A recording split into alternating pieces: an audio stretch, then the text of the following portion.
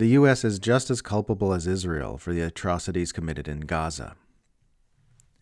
The Israeli government dropped thousands of leaflets on Gaza telling everyone who lives in the northern part of the strip that they have 24 hours to evacuate to the southern part, and then bombed the people who were trying to evacuate. United Nations spokesman Stéphane Dujarric denounced the evacuation order, saying the UN considers it impossible for such a movement to take place without devastating humanitarian consequences. Many Palestinians have said they're going to stay where they are because they have nowhere safe to go, despite being told by Israel that they must leave if they want to save their lives. We're about to see the death and destruction get much, much worse in Gaza, and it's already very, very bad.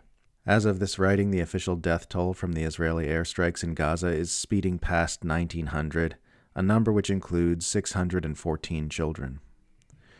The primary job of Israel apologists in the coming days will be producing and circulating narratives explaining why this self evidently terrible thing is actually perfectly fine and reasonable. It's so incredibly obvious what we're looking at here. The only thing putting a wobble on people's perception is the immense amount of propaganda distortion the media is churning out on this issue, plus the fact that the demographics look a bit different from what history has conditioned people to watch out for. If there were two million Jewish people trapped by Christians in a giant concentration camp and placed under total siege, being told that half of them had 24 hours to relocate into the other half or be killed, nobody would have any confusion about what they were witnessing. And top down commands are being issued within the U.S. government to support this massacre unconditionally. The Huffington Post reports that the State Department has been circulating internal emails telling staff to avoid calls for peace, instructing them to refrain from using phrases like de escalation slash ceasefire, end to violence slash bloodshed, and restoring calm. Asked about progressive congressional members calling for a ceasefire, White House Press Secretary Karine Jean Pierre said, We believe they are wrong, we believe they're repugnant, and we believe they're disgraceful. On the question of whether there are any potential Israeli actions that the White House would not tolerate, U.S. National Security Advisor Jake Sullivan told reporters, I'm not here to draw red lines or issue warnings or give lectures to anybody. So, to be perfectly clear for anyone who is confused, the U.S. government is fully behind this massacre and is just as culpable for everything that happens in Gaza as the Israeli government. These abuses are being perpetrated using U.S. weapons, U.S. funding, and U.S. consent.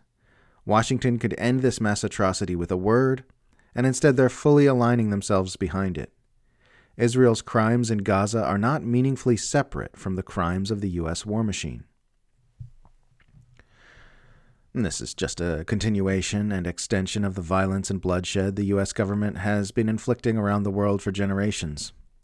There's a clip of George W. Bush going around from a California event on Tuesday in which, for some bizarre, unfathomable reason, the former president was asked to provide his opinion on what Israel should do in response to the Hamas attack on October 7th.